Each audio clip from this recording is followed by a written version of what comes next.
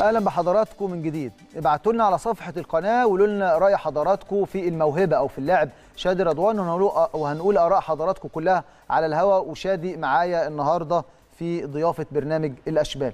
آه كابتن شادي كنت بسألك عن يعني خلاص أنت انتقلت من أكاديمية النادي الأهلي في المنصورة للنادي الأهلي. كان عندك كام سنة وقتها؟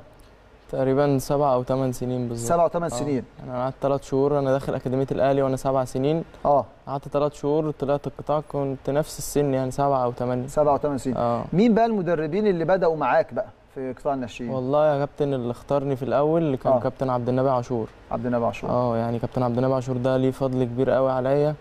مهما اتكلم كده مش هو مش كابتن عبد. النبي ما شاء الله عينيه حلوة كمان. بالظبط يعني هو ده أول حد اختارني. وفضل مكمل معايا شوية وكان في مدرب كان جاي كان لسه يمسك الفرقة ما كانش عاوزني هو اللي صمم إن أنا أبقى موجود. آه. غير كده ما كنتش هبقى موجود يعني. فأنا يعني بصراحة بشكره جدا تعب معايا ووقف جنبي. فبشكره جدا على الفترة اللي اللي أنا قضيتها معاه يعني. مين تاني بقى؟ كابتن عبد النبي عاشور اختارك في الأول وابتديت معاه في مدرسة الكورة. بعد كده بالترتيب كابتن عصام صلاح. آه. وكابتن ياسر محمدين. وبعد كده كابتن محمد شرف بعد كده كابتن أحمد سراج وبس كده بقى على الفريق الأول يعني. كابتن أحمد سراج اشتغلت معاه فترة كبيرة.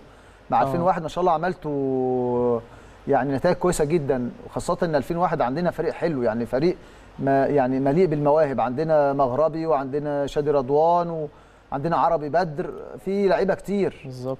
يعني كابتن أحمد سراج قعد معانا سنتين تقريبا. آه، استفدت منه كتير جدا ومدرب أنا يعني بعيدا عن الكورة بحبه بحبه جدا بره الملعب. آه. وبيحاول إن هو يحمس اللعيبة ويحاول إن هو يطلع أقصى حاجة عندهم. آه. وهي دي الفترة تقريبا اللي أنا يعني كنت آه، ما شاء الله ماشي فيها كويس. آه.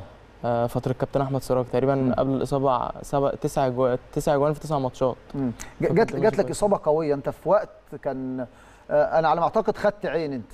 جات بعد موضوع الجارديان البريطانية أنا؟ بقول لحضرتك أنا آه. أول تسع ماتشات تسع جوان و... آه. وثمان أسيستات كمان آه فأنا كنت ماشي كويس قوي بس آه، جت بقى حوار الإصابة ده يعني خير كله طبعا من عند ربنا مم. الواحد دايما يعني آه، مقتنع إن كل حاجة من عند ربنا بتبقى خير يعني